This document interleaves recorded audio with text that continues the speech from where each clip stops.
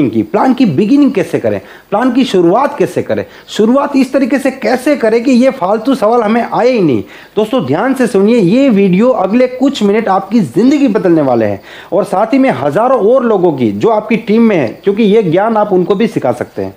आप शुरुआत कैसे करेंगे? सबसे पहले आपका फोकस है, आपका टारगेट है अपने प्रोस्पेक्ट का फोकस और अटेंशन लेना। तो आप कैसे बात करेंगे? जैसे कि, सर समय दुनिया की सबसे कीमती चीज़ है। तो समय को बिल्कुल भी बर्बाद किए बिना मैं आपको अगले दो मिनट के अंदर आज की मीटिंग का पर्पस समझा सकता हूँ। क्या आप मुझे दो मिनट देने को तैयार हैं? तो इससे क्या फ़ायदा होगा कि दो मिनट इतना छोटा सा समय है कि कोई भी व्यक्ति तैयार हो जाएगा। दूसरी बात कि उसका पूरा फोकस, पूरा अटेंशन आपकी बात में आ जाएगा। और दो मिनट की बात है तो कोई आदमी इसमें बीच में कोई ऑब्जेक्शन नहीं पूछेगा, कोई सवाल नहीं पूछेगा। अब आप क्या समझाएँगे दो मिनट में? आपको समझाना है कि आज दुनिया में हर आदमी भाग रहा है। आप रोड पे देखेंगे तो हर आदमी भाग रहा है। कोई नौकरी कर रहा है, कोई बिज़नेस कर रहा है, कोई दुकान चला रहा है। लेकिन हर आदमी भाग रहा है। क्यों भाग रहा है? क्योंकि सबको पैसा चाहिए।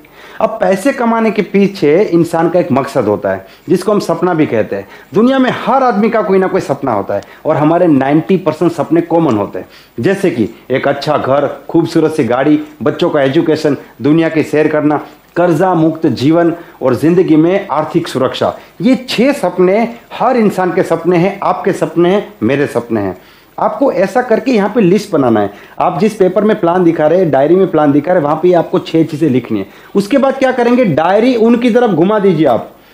और अब आप उनको एक सवाल पूछिए कि, सर आप ये सारे सपने देखते होंगे, लेकिन अगर इनमें से कोई एक सपना आपको पूरा करना है, जो आपकी ज़िंदगी में सबसे ज़्यादा इंपॉर्टेंट है, सबसे ज़्यादा खास है तो वो सपना कौन सा है? यहाँ पे आप नीड क्रिएट कर रहे हैं। देखिए, अगर उसने सिलेक्ट किया कर्जा मुक्त जीवन, इसका मतलब आप जानते हैं? इसका मतलब है कि प्रोस्पेक्ट के ऊपर कर्जा है। दुनिया में कोई ऐसा इंसान नहीं है जिसके ऊपर कर्जा नहीं है और उसका सपना होगा कर्जा मुक्त जीवन। अगर उसने सिलेक्ट किया एक घर, इसका मतलब आप जानते हैं? मतलब वो रेंटेड हाउस में रहता है, या तो उसको अपना घर पसंद नहीं। तो यहाँ पे आपने नीड क्रिएट कर दी। अभी तक आपने दुनिया भर की ट्रेनिंग ली होगी। नीड क्रिएट करो नीड क्रिएट करो। नीड क्रिएट कैसे करना है, आज मैं आपको बता रहा हूँ। और इस टेक्निक को आप अपनी टीम में भी लगा सकते हैं। जब आप अपनी टीम का काउंसिलिंग करते हैं, जब किसी का ड्रीम बिल्डिंग करना है, आप बोलते हैं ना, मेरा डाउनलाइन काम नहीं करता मोटिवेटेड नहीं है एक्साइटेड नहीं है, उसमें जोश नहीं है, वो मेरी तरफ़ प्रायोरिटी नहीं देता, क्योंकि उसकी नीड क्रिएट नहीं किया आपने। एक बार नीड क्रिएट कीजिए और उसके सॉल्यूशन के रूप में अपना बिज़नेस दिखाइए, फिर देखिए आपसे ज़्यादा डबल रफ्तार से वो काम करेगा, आपसे ज़्यादा डबल मोटिवेटेड और एक्साइटेड हो जाएगा। चलिए, कोई बात नहीं प्लान में वापस आते हैं। तो जब आपने नीड क्रिएट कर ली, आपके पास अगर नीड आ गई तो समझ लीजिए, आप बाजी जीत गए। आप पूरी गेम जीत गए, आपका 90 परसेंट काम यहाँ पे हो गया, आपकी ज्वाइनिंग भी फाइनल हो गई। अब आपको आगे क्या करना है? मान लीजिए आपके प्रोस्पेक्ट का सपना है उसको घर बनाने। अब आप क्या करेंगे? इस सपने में और भी डीप में जाएँगे। आप उनको पूछेंगे कि आपका जो सपना है, ये घर बनाना है कहाँ पे बनाना है? गाँव में या शहर में? ये कितना बड़ा बनाना है? छोटा बनाना है, बड़ा बनाना है, आलिशान बनाना है? ये आपको कब बनाना है? इसके लिए कितने पैसे लगेंगे? और यहाँ पर जादू होने वाला है। ज़्यादातर लोग तो ज़िंदगी में पहली बार सोचेंगे, अरे यार, अस्सी लाख रुपया चाहिए, एक करोड़ चाहिए, और एक करोड़ रुपया तो कैसे होगा, कहाँ से होगा? अब यहाँ पे आपको एक ज़बरदस्त सवाल पूछना है कि, सर, आप जो भी काम करते हैं, नौकरी करते हैं बिज़नेस करते हैं, मैं उसकी बहुत रिस्पेक्ट करता हूँ।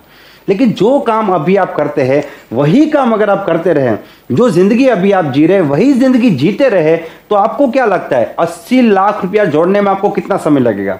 या फिर दूसरे शब्दों में, आपका घर बनाने में आपको कितना समय लगेगा?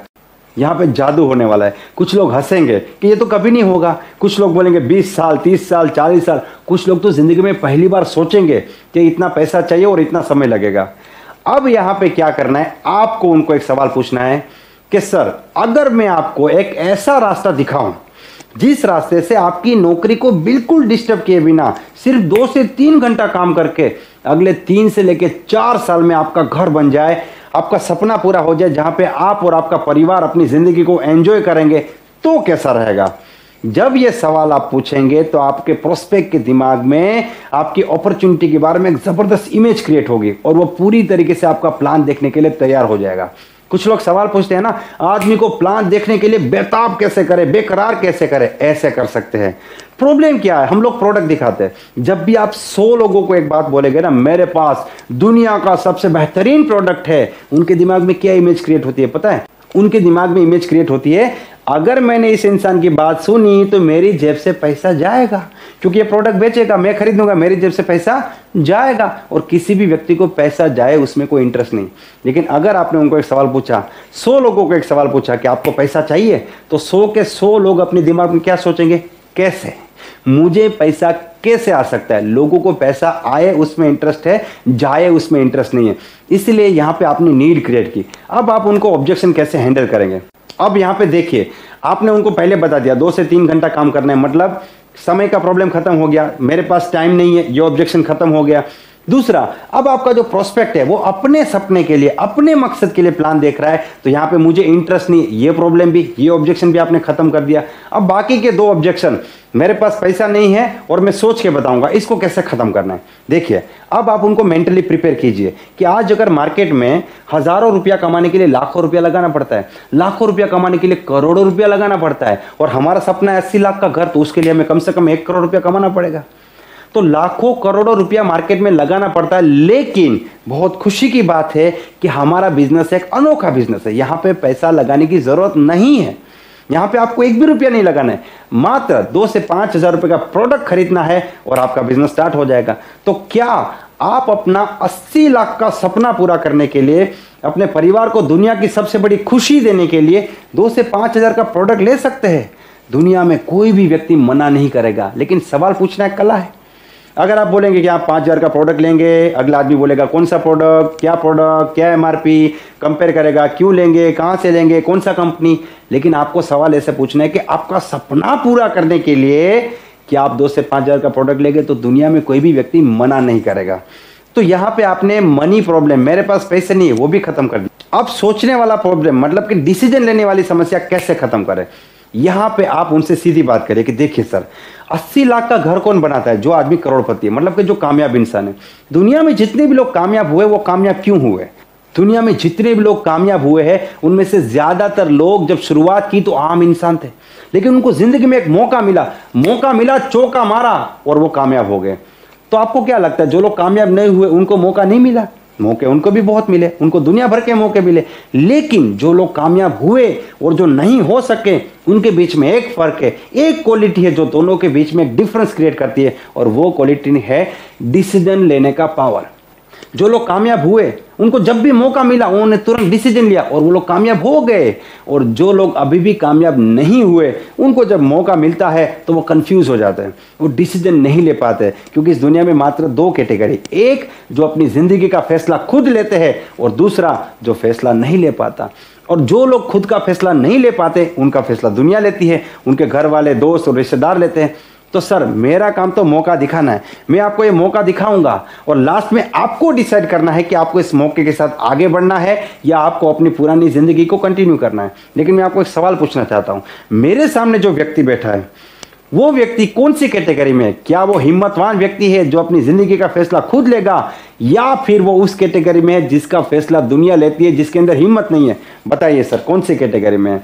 हंड्रेड परसेंट आपका प्रोस्पेक्ट बोलेगा कि मेरे अंदर हिम्मत है, मैं डिसीज़न लूँगा और मैं डेफिनेटली आगे बढ़ूँगा। तो इसको बोलते हैं मोटिवेशन देखिए, आप प्रेशर मत क्रिएट कीजिए। मोटिवेट करना आपका काम है। तो यहाँ पे आपने सोच के बताऊँगा डिसीज़न नहीं ले सकता, घर पे पूछना पड़ेगा। ये सारे ऑब्जेक्शन भी आपने खत्म कर दिए। मैंने आपको वादा किया था कि मैं आपको एक ऐसा तरीका दिखाऊँगा जिसमें आप प्लान दिखाने से पहले ज्वाइनिंग कन्फर्म कर दोगे। अभी तक आपने कंपनी का नाम प्रोडक्ट का नाम नेटवर्क मार्केटिंग का एक शब्द नहीं बोला फिर भी आपकी ज्वाइनिंग बिल्कुल तैयार है। और ये जादुई तरीका है जो आपको अपने बिज़नेस में अप्लाई करना है। दोस्तों, इस वीडियो को कम से कम 10 या 20 लोगों तक पहुंचाइए, क्योंकि नेटवर्क मार्केटिंग एक ऐसा बिज़नेस है जो आम आदमी से खास आदमी बनने का बिज़नेस है। ये करोड़पति लोगों का बिज़नेस नहीं है, जिसको करोड़पति बनना है, ऐसे लोगों का बिज़नेस है। नेटवर्क मार्केटिंग ने लाखों लोगों की ज़िंदगी बदली है और करोड़ों और लोग कोशिश कर रहे हैं। आज हर एक इंसान मेहनत कर रहा है, लेकिन उनके पास ये टेक्निकल ज्ञान नहीं है। ये ज्ञान बहुत ज़्यादा ज़रूरी है। आपके एक शेयर करने से उनको फ़ायदा हो सकता है। और जब एक व्यक्ति नेटवर्क मार्केटिंग में अपनी ज़िंदगी बदलता है तो एक व्यक्ति ज़िंदगी नहीं बदलता, एक पूरे परिवार की ज़िंदगी बदलती है। मुझे उम्मीद है आपको ये वीडियो पसंद आया होगा। अगर ये वीडियो आपको पसंद आया है तो इसे लाइक कर दीजिए, चैनल को सब्सक्राइब कर दीजिए, और दूसरे लोगों को ज़रूर भेजिए।